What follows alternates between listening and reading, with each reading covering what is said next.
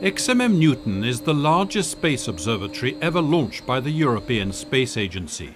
Its name stems from the design of its 170 cylindrical X-ray multi-mirrors, wafer-thin, gold-coated, nested in each other and making up the telescope's three eyes. Their combined X-ray collecting power has, these last 10 years, provided the observatory's five X-ray instruments with a steady stream of data, allowing scientists to make numerous discoveries in all fields of astronomy. On a clear night, we can see thousands of celestial objects near and far. Our own Milky Way is ablaze with lights. Yet occulted by the Earth's atmosphere, thousands of hidden X-ray emitting sources are revealed by XMM Newton. Their X-rays are produced in extreme conditions and often by dramatic events. ESA's observatory has excelled in studying the environment of black holes, present even at the center of the Milky Way. They can drive the evolution of massive galaxies and even of galaxy clusters, the largest structures in space, as ESA's observatory has discovered. In this cluster, the central galaxy is surrounded by an X-ray cloud of hot gas, a dark matter halo that is 3 million light-years across. Temperatures there can reach 50 million degrees. XMM Newton has helped constrain the theories about this mysterious dark matter, believed to outweigh ordinary matter by 5 to 1. With its mission prolonged to 2012, XMM Newton will now be working hand in hand with ESA's Herschel Infrared Space Observatory, unveiling the mysteries of star formation.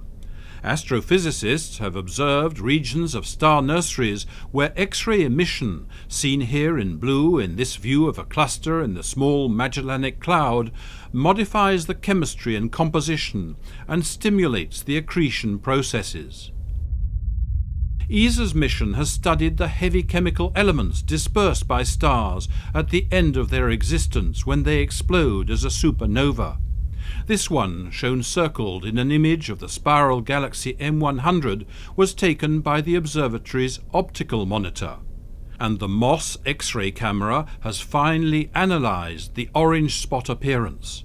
Comparable data collected six years earlier by ROSAT, one of XMM Newton's predecessors, revealed that the supernova has not dimmed as expected. XMM Newton and Chandra, its counterpart NASA mission, have also both detected the traces of the oldest recorded supernova, SN 185, an explosion observed 2,000 years ago by Chinese astronomers. But today, and closer to home, the European Space Observatory has contributed to our understanding of the solar system, revealing, for instance, the influence of the solar wind interacting with Jupiter's magnetosphere. It has shown that the Martian atmosphere is much larger than previously thought, and it has confirmed that icy comets give off X-rays. The Space Observatory has celebrated its first decade in space, and the spacecraft and instruments could well last for another. Astronomers' requests to use it amount to seven times the available observation time. For those who designed the satellite and who built its X-ray detectors, and those who control the spacecraft and its science operations, XMM Newton continues to be a jewel of space astronomy.